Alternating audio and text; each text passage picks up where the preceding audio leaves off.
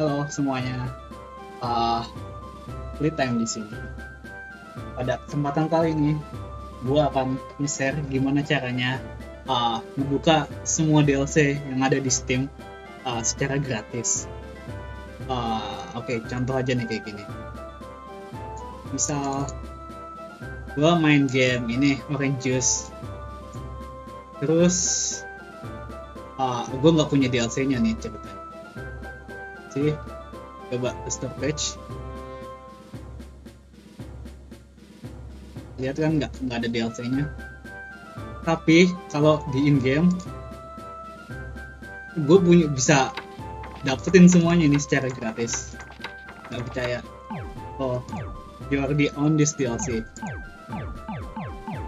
Di uh, oke. Okay. oke okay, langsung aja ya pertama-tama kalian harus daftar dulu ke salah satu website terkenal ini. Kalau kalian sering main ke apa? Packwatch terus apa lah yang Reddit itu pokoknya. Yang uh, komunitas game-game bajakan gitu. Uh, namanya CS Ringu di sana kalian bisa dapetin uh, tools-tools yang mungkin berguna buat buka-buka DLC yang buat enhance uh, pengalaman game kalian. Oke, langsung aja ya.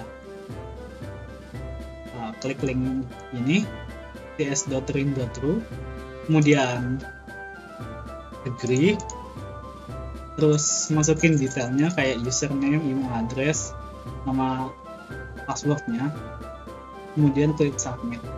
Oke okay, udah sampai situ? Good. Oke okay, untuk untuk part ini cuma sampai situ dulu. Soalnya ini bakal berpart-part soalnya gue malas ngeditnya ya. Jadi ya udahlah bikin part aja. Oke okay, untuk yang dulu dari dari gua.